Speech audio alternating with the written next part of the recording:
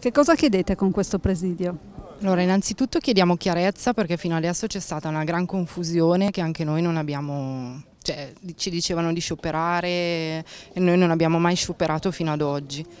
Chiediamo innanzitutto di salvaguardare il nostro posto di lavoro perché siamo prevalentemente donne di un'età che non è pensionabile e, e, e, visto anche la situazione che c'è in generale non sappiamo che fine faremo a questo punto.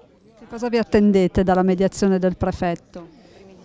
Un, uno spiraglio, che la Bialetti ci dia uno spiraglio oppure ci dica veramente come stanno le cose perché per adesso noi stiamo continuando a lavorare ma roba non ne arriva e non, non, stiamo neanche spedendo. Oggi è una giornata di sciopero, in fabbrica si continua a lavorare in questi giorni, con che spirito? Con un bruttissimo spirito, non si sa niente, non sappiamo niente, non abbiamo idea di cosa vogliono fare, non, non c'è proprio uno spirito di positività, si lavora, si lavora così.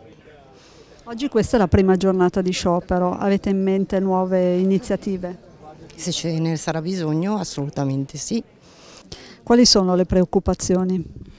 Eh, le preoccupazioni sono importanti nel senso che è un territorio questo in cui abbiamo già perso parecchio nel settore manifatturiero eh, il fatto di avere una, un licenziamento collettivo di 39 persone, una procedura di licenziamento collettivo di 39 lavoratori eh, chiaramente ci, eh, ci preoccupa parecchio. È stata aperta una procedura di licenziamento collettivo, peraltro in maniera anomala, perché nella comunicazione c'è giunto un organico parziale dei lavoratori in capo alla Blue Service, quindi su questo abbiamo immediatamente chiesto una rettifica.